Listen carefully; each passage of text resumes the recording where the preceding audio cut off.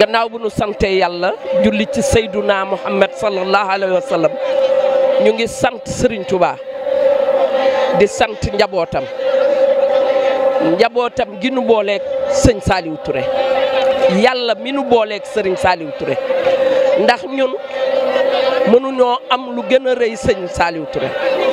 kon bu nu yàlla booleeg Serigne Saliou Touré ak Serigne Saliou Touré na mu mel ak tolluwaayam yàlla boole ñoog moom ñun danoo war a wëlbatiku sant yàlla bu wér rawatina nag bés bii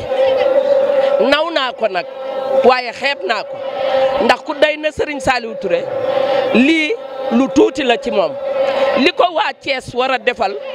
par rapport ak li mu liggéey ci Thiès lii lu tuuti la fi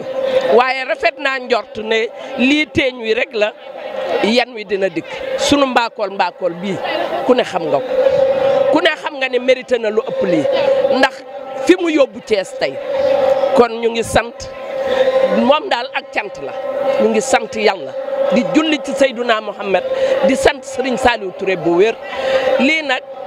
nay doon tàmbali nag te continuer ndokk nag bi ñu ko defee de son vivant c'est très important jërëjëf wasalaam.